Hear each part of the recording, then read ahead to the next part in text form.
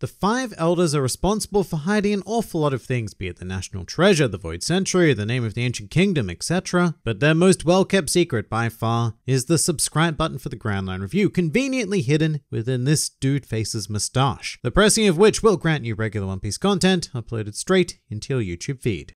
Hello and welcome to the Grand Line Review, your source for everything One Piece, and today we are going to be doing something slightly different, but also quite the same. Because as many of you will know, the largest series on this channel is One Piece 101, which does aim to break down everyone and everything in the One Piece world. However, this does become problematic with certain topics because we have quite an incomplete knowledge pool. So much so that I could never in good faith make a video title that said something like Laugh Tale Explained or something along those lines. But there is still a hell of a lot of important information to know within these kind of topics, and as such we are going to start covering everything we know about certain aspects of the series. And today we will be beginning with a rather exciting subject, one of the most prolific yet mysterious groups within One Piece being the Five Elder Stars. So here is everything we know about them. The Five Elder Stars are a group of extraordinarily high-ranking world nobles who exert complete command over the world government. In fact, they have been specifically referred to as the highest authority of the world government. And through this sheer politics and administration alone, they are some of the most powerful individuals that this world has ever known. And this group currently consists of this guy, this guy, this guy, this guy, and of course everyone's favorite, this guy. Although this guy is my favorite because he has a funky mustache. So as you can tell, none of these elderly gents have been given individual names as of yet, which is kind of insane, because they were first introduced in chapter 233, which was the Jaya arc, and this would make them quite easily the longest running prominent characters to be featured in the series without being named. In regards to the name they do have though, this does change depending on how you consume One Piece. For example, the Five Elder Stars is a label given to them by the Funimation subs. Meanwhile, the Viz manga translation simply refers to them as the Five Elders, which is probably the most accurate translation at this point because in chapter 907, Oda himself labeled them as the Five Elders in English. However, if you are familiar with Japanese, then this group is known as the Gorosei, which does translate much more closely to the Five Elder Stars than it does Five Elders, but honestly, whatever title you use, it is perfectly fine. Now, as stated before, these elderly gentlemen are indeed world nobles, an idea that you might find initially kind of shocking, because let's just say that they, uh, they don't embody the traditional aesthetics of a world noble, plainly meaning that they don't look like the result of 800 years of inbreeding. With that said, not all world nobles look like this, a great example of which would be the Don Quixote family, who all looks like fairly regular beings. And female world nobles are also usually presented as idealistic beauty, but these are exceptions. Most of the time, a world noble will still look like whatever this is. Not the five elders though, which is very interesting. And furthermore, to top this off, the five elders also do not subscribe to the general fashion of their people, instead choosing to don sleek black suits, or in one case a pure white gi, rather than the over-the-top full-body spacesuits of their brethren. So it's very clear that while they are considered world nobles, there is something very profound that separates the five elders from the rest of this pack which can also be seen in their attitudes. The Five Elders present themselves as a beacon of maturity, logic, and reason, whilst other world nobles are much more juvenile, selfish, and possession-based existences. And it's probably for the best that the Five Elders are like this because their primary purpose is specifically to maintain the balance of the world. Now I should say that the word balance is how they choose to refer to it, but I suppose it could more accurately be referred to as their desire to maintain the world government's control over the planet. You know, the concept of balance changes depending on whose perspective you're looking at it from. But you can see this concern at play in effectively every scene in the series that features the Five Elders. For example, in their introductory chapter, they show great concern over a potential meeting between Whitebeard and Shanks, two of the four Emperors of the Sea. And this is because if there were to ever be an alliance between two of the four Emperors, then that would throw the world out of balance, and it would create a power capable of toppling the world government itself. And as one measure to continue a stranglehold on the living realm, the Five Elders also instituted the Warlord system, selecting seven powerful pirates and granting them amnesty in exchange for their occasional services. But it is mostly about name recognition, a sort of symbolic bowing of global power to the world government. And the awareness of the Five Elders does spread beyond that simple concept as well, because in the quest for balance, they also seek to portray peace, whether they're actually engaged in it or not. And this was one of many reasons why they decided to make Jinbei a warlord of the sea, so that he could serve as a symbol of good faith relations between human and fishmen. And as such, the Five Elders were greatly concerned when Jinbei resigned from the Seven Warlords after refusing to fight against the Whitebeard pirates. Although in recent times the Five Elders have tried to rebuild that image by inviting the Ryugu royal family to the most recent reverie. But the concerns of the Five Elders range far and wide, and very rapidly growing matter for them is the increasing infamy of our protagonist Luffy. The Five Elders, unlike much of the world, have not underestimated Luffy, and he has been a strong fixture on their radar ever since he defeated Sir Crocodile on Alabasta. And this has only continued with every other amazing feat that he has accomplished, such as destroying Enies Lobby, participating in the Paramount War, and defeating Doflamingo, the latter of which was a very, very big deal, which we will talk about in a second. But the key reason why the Five Elders have always been wary of Luffy is because of his heritage, which doesn't even necessarily mean being the son of Dragon, the world's most wanted criminal, or the grandson of Garp, the hero of the Marines. No, the Five Elders concern has to do with Luffy's middle initial D. Because while we, as readers and watchers, are not privy to this information, it is clear that the Five Elders understand the will of D, as well as the events of the Void Century. In fact, they are almost certainly the most knowledgeable source of this information, which is a bit awkward, because the most paramount task on their agenda is keeping this intelligence from ever becoming public knowledge. And this can be seen in a statement the Five Elders made following the Paramount War, where they say, The largest problem here, as always, is D. That name has become far too well known in recent years, which is of course referring to the prominence of Luffy, Ace, Dragon, Garp, and Blackbeard, all of whom share that curious D. So much so that the world might even start paying attention to it. Now there have of course been examples of those who have attempted to directly seek out this knowledge in the past though. The one obviously coming to mind being the scholars of Ohara, Nico Robin's home island in West Blue. And led by Professor Clover, these curious individuals began studying the poneglyphs, the ancient language, and the Void Century, all of which was strictly forbidden by the world government. And so once the Five Elders discovered this, they ordered a buster call on the island, effectively wiping away civilization that had existed for 5,000 years. And they did so by uttering these simple words. Ohara has learned too much. Give the order to attack. And just like that,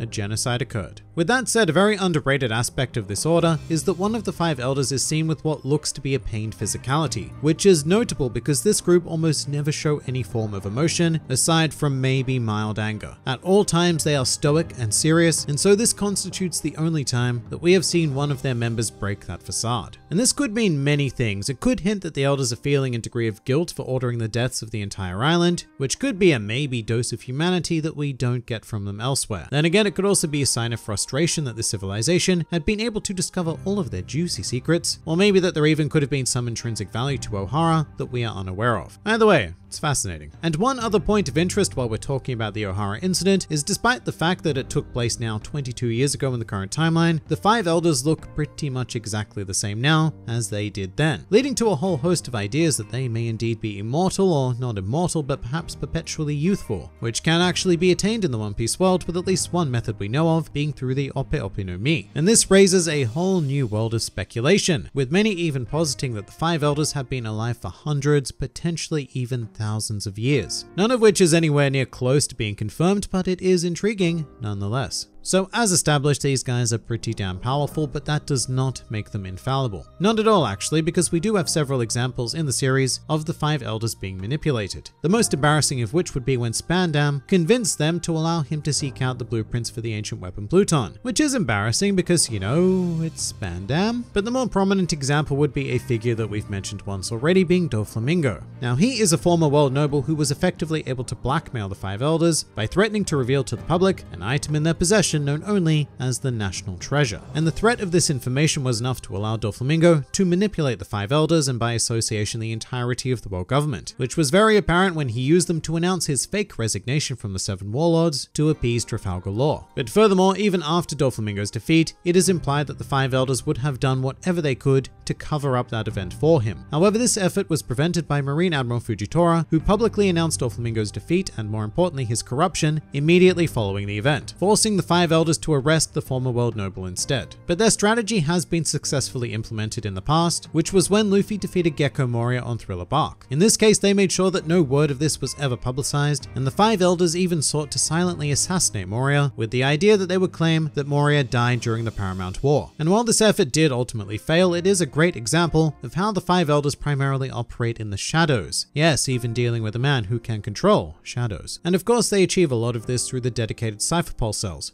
including the secret CP9 and the theoretically even more secret, yet surprisingly publicly known CP0. That is how the Five Elders carry out more straightforward tasks anyway, but the bulk of their power lies directly within the Marine organization. Although in this case they have to use the Marines a lot more strategically, given that the Five Elders have admitted that the Marines are the public face of the world government. With that said, they don't really collaborate with the Fleet Admiral, who to the Five Elders exists only to serve their desires, which is a great source of annoyance for the current Fleet Admiral Sakazuki. I mean, I say annoyance, more accurately it infuriates him, because Sakazuki has an immense belief in his own justice, the efforts of which are constantly being thrown into turmoil by the decisions of the Five Elders, which is important because it shows a stark disconnect between the world government and the Marines. As it stands, the Marines are nothing more than a tool to be wielded by the Five Elders. And just briefly, when it comes to their own physical power, this area is a complete unknown, because they've only ever been seen standing still or sitting comfortably. However, they do possess various aesthetic cues that they have or once had the power to engage in combat on their own, which can be seen in the various scars amongst them, and also by the fact that one of them would appear to be a swordsman. So there is every chance that these guys are far more than a gaggle of politicians, but it remains unconfirmed as of right now. And as for one of the more fascinating encounters we've ever seen regarding the Five Elders, this would occur during the Reverie arc, when of all people, red-haired Shanks requested an audience with them. And this is odd for many reasons. The biggest of which being that Shanks was one of the four Emperors of the Sea, and thus leaders of piracy amongst the globe, with Shanks representing everything the Five Elders were actively fighting against. That's not the most interesting part of this encounter though. What I find truly fascinating is that when Shanks came to visit them, they more or less completely disregarded him.